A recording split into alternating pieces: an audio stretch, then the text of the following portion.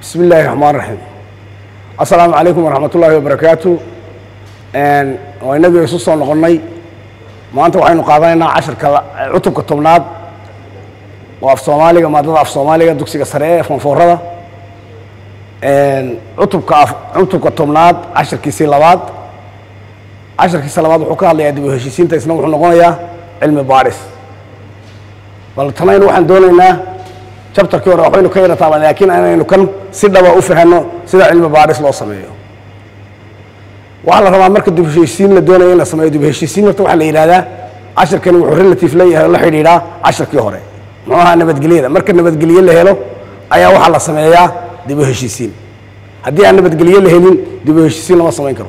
Marka dad sidaynu casharkii hore ku qaadanay marka dadkii diriirtu dhex martay ama colaaddu dhex martay nabadgelye la dhex dhigo xabad joojin lagu sameeyo oo qof waliba ogolaado ayaa markaa dib heshiisiinta la galaa.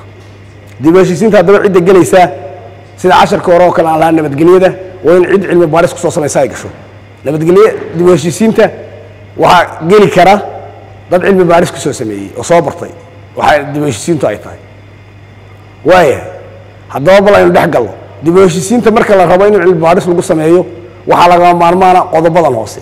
Qodobadan aynu baa la isticmaalaya qodobka koowaad ugu horeyn sidii casharkii hore aynu ku soo sheegnay ayaa cilmi baadhis lagu soo samaynayaa. Dib u heshiisiintu waxay tahay.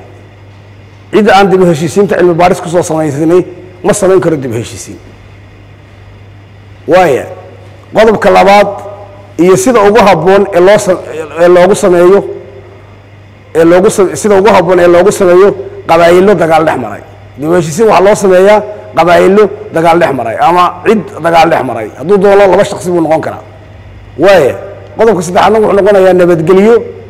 Marka la helo ayaa dib heshiisiin la samayn karaa oo keliya. Iyadoo aan nabadgelyo la helin dib heshiisiin lama samayn karo.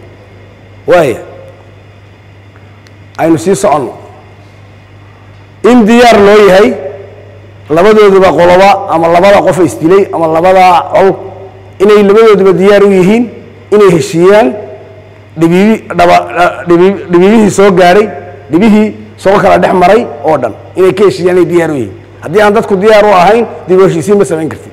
Laakiin cidda aad siinaysaa waa inay iyagu marka hore diyaar u yihiin.